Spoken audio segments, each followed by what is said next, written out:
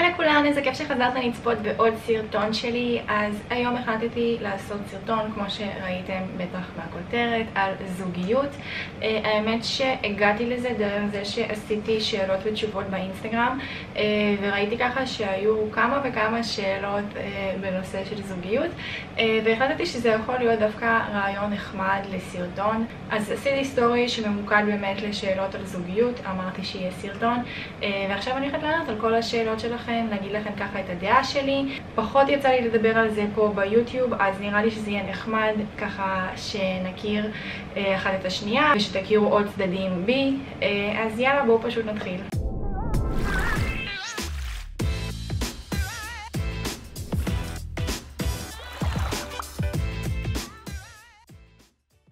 אה, אז האמת, מישהי פשוט כתבה פרדות, ולא שאלה ספציפית, אז אה, אני אקח את זה למקום שלי, איך להתמודד עם פרדות ודברים כאלה, איך ממשיכים הלאה אחרי זוגיות. אז באמת זה משהו שהוא כן אינדיבידואלי ואישי וכל מקרה לגופו, ותמיד קל מהצד לעודד ולהגיד יהיה בסדר, והזמן עושה את שלו והכל טוב ואת תראי, אבל הזמן באמת עושה את שלו. כמה נדוש שזה לא יישמע.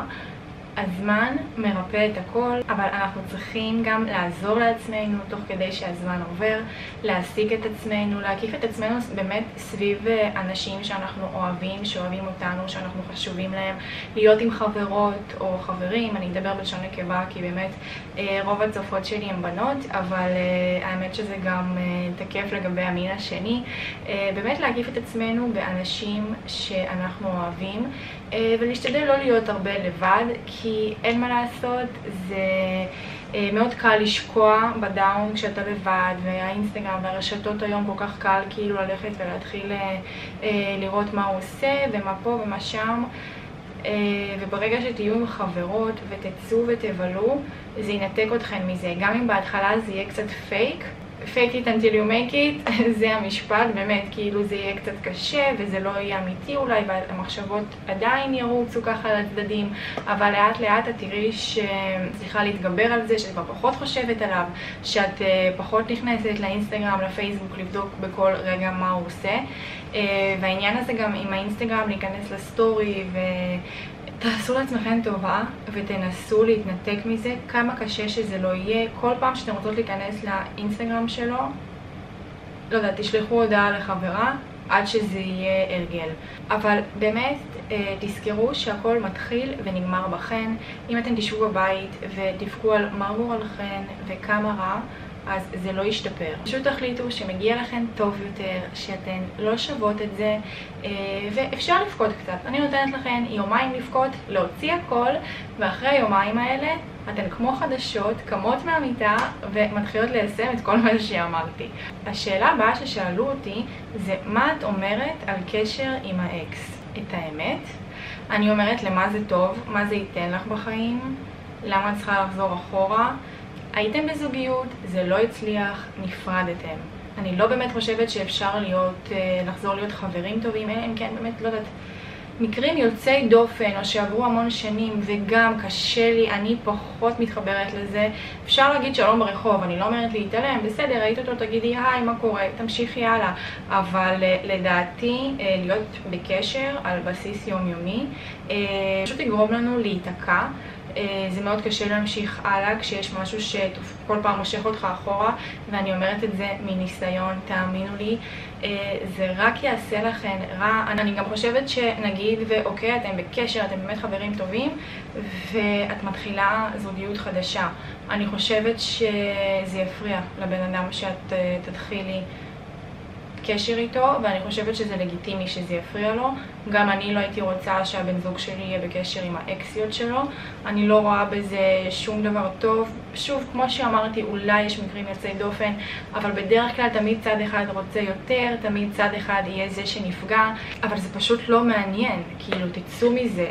אני בטוחה שהשאלה הזאת באה מנקודה רגישה, אז תעשי לעצמך טובה ותתנתקי. את לא מבינה כמה זה יעשה לך טוב, פשוט תתנתקי ותתרחקי. עכשיו לשאלה מאוד מעניינת, אה, איך מתמודדים עם קנאה בזוגיות? אני לא מצליחה לשחרר. זה מה שהבחורה כתבה, והאמת שפעם שעשיתי שאלות ותשובות, שאלו אותי כבר על קנאה בזוגיות ועניתי על זה, אבל אני אענה על זה שוב גם פה יותר בהרחבה. קודם כל באמת לדעתי חשוב להבין אה, את הבסיס לקנאה הזאת, מאיפה זה נובע. אה, תלמדי לשחרר, אני לא יודעת כאילו ממה יש לשחרר, מה, מה הוא יעשה. אם הוא ירצה לבגוד בך, הוא יבגוד בך גם אם לא תשחררי. כאילו בן אדם שרוצה לבגוד, יבגוד. בואו נצא מנקודת הנחה, אוקיי?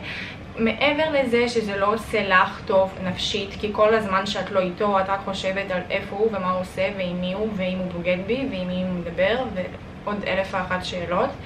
אה, זה גם לא עושה טוב לזוגיות, כי בן אדם שמרגיש שכל הזמן בוחנים אותו ולא סומכים עליו, אני אישית לא יודעת אם אני הייתי מצליחה להתמודד עם זה בתוך uh, מערכת יחסים. האמון בין בני זוג זה באמת באמת הבסיס למערכת יחסים טובה ומוצלחת ובריאה, uh, ואם אין את זה, צריך לעבוד על זה. זה שתחפרי לו ותציקי לו, זה רק ירחיק אותו, באמת.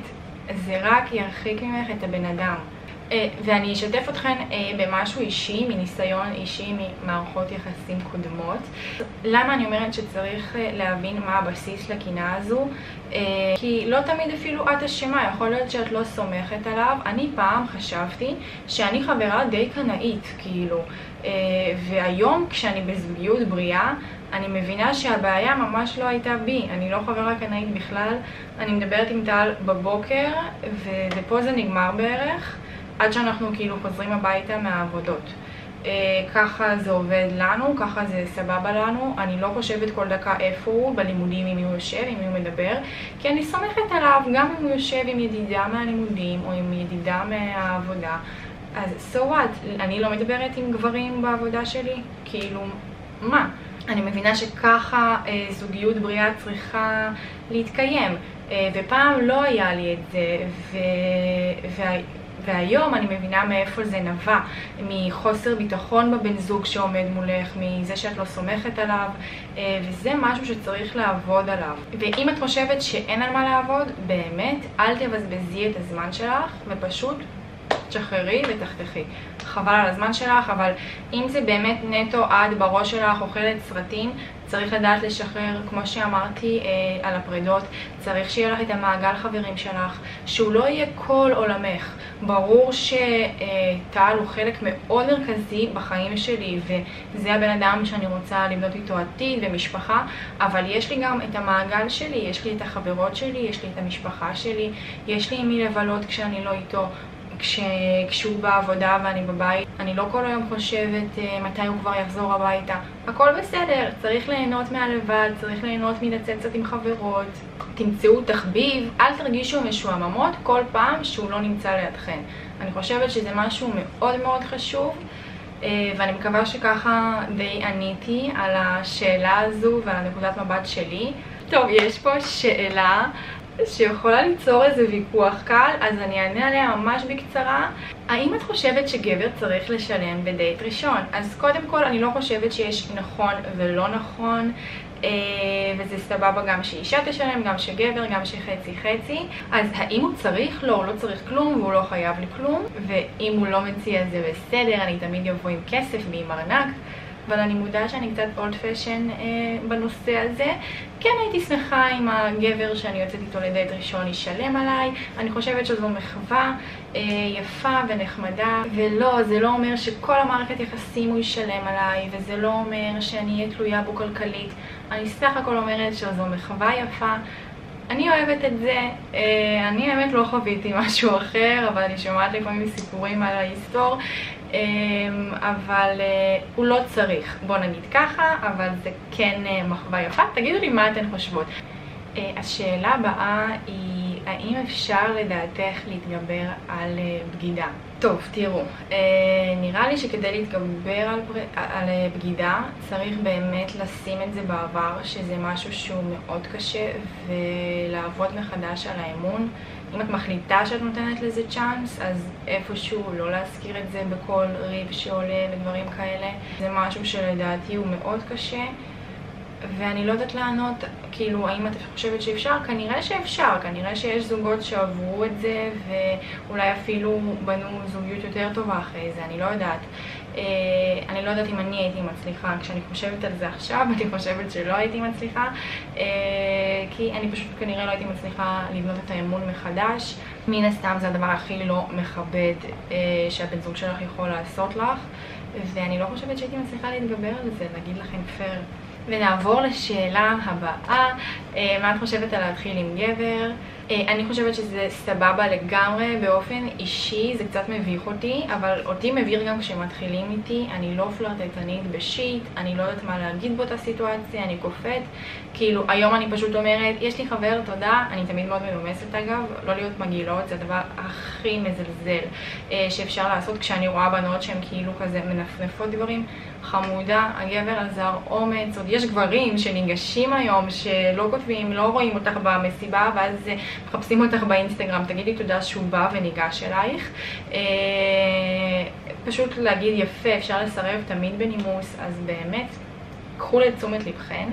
אמ, אבל כן, זה מביך אותי מאוד מאוד מאוד, אה, גם כשמתחילים איתי, גם להתחיל, אבל האמת שעם טל אני סוג של התחלתי איתו. הוא הבחור היחיד שאי פעם התחלתי איתו, וכנראה שיצא מזה משהו טוב בסוף. תראו, הנה אנחנו היום, ארבע שנים אחרי, עדיין פה, עדיין ביחד.